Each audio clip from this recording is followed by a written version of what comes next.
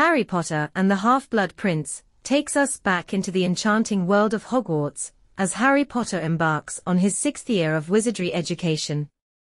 The atmosphere is tense, Voldemort's dark influence is spreading, and whispers of his return are rampant throughout the wizarding community. Against this backdrop of uncertainty, Harry reunites with his friends Ron and Hermione and returns to Hogwarts School of Witchcraft and Wizardry. At Hogwarts, Harry is thrust into a whirlwind of events that deepen his understanding of the wizarding world's dark history. With the guidance of Professor Dumbledore, Harry delves into the mysteries of Voldemort's past, uncovering the truth about the Dark Wizard's Horcruxes, objects that contain pieces of his soul, ensuring his immortality. This revelation propels Harry into a quest to locate and destroy these Horcruxes, knowing that only by doing so can Voldemort truly be defeated.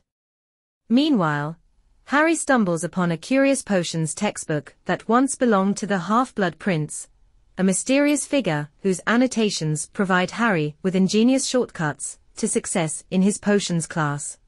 As Harry balances his studies, friendships, and budding romances, he grapples with the weight of his destiny and the sacrifices that lie ahead. Throughout the school year, tensions rise as Voldemort's influence spreads, culminating in a devastating confrontation at Hogwarts.